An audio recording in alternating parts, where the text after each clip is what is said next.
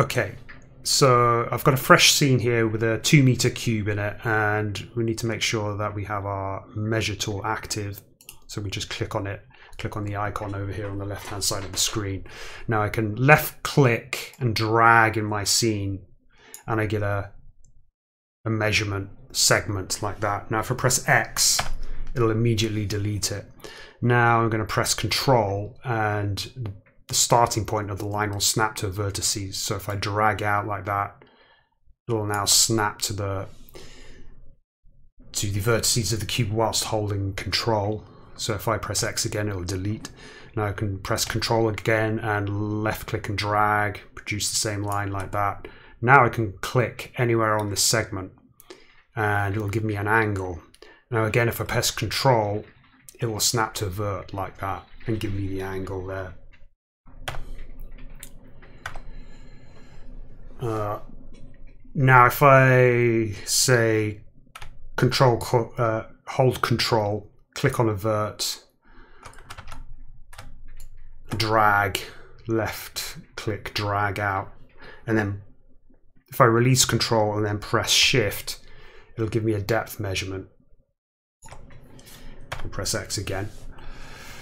Now, if we click on our cube, and make sure the cube's active and we press uh, say uh, tab to go into edit mode.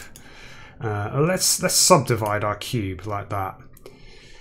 Uh, and you'll notice when we're in edit mode if you come up to the top right hand corner of the viewport the 3d viewport there's now mesh edit mode drop down here which gives us access to mesh edit mode overlays. And from here, we can activate edge lengths, face area, edge angle, and face angles, which is all quite useful.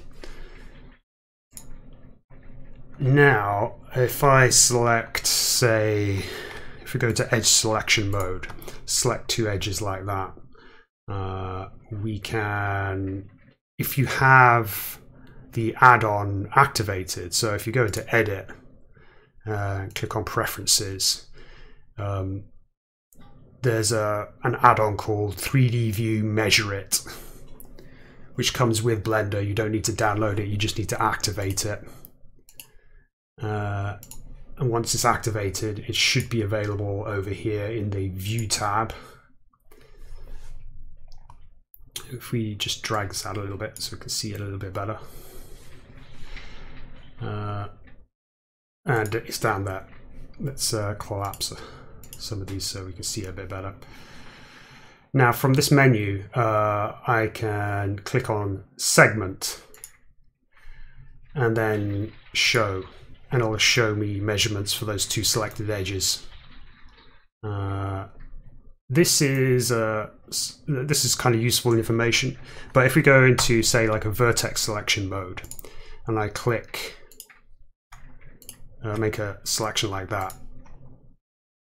Make sure we just got those two verts selected there. Um, press segment again. It'll give me the distance between those two verts and not and ignore that vert in the middle. And likewise, we can sort of like maybe select the corners like that. In fact, like that. Uh, and again, press segment and it'll give me a measurement between those two verts and ignore what's in between them.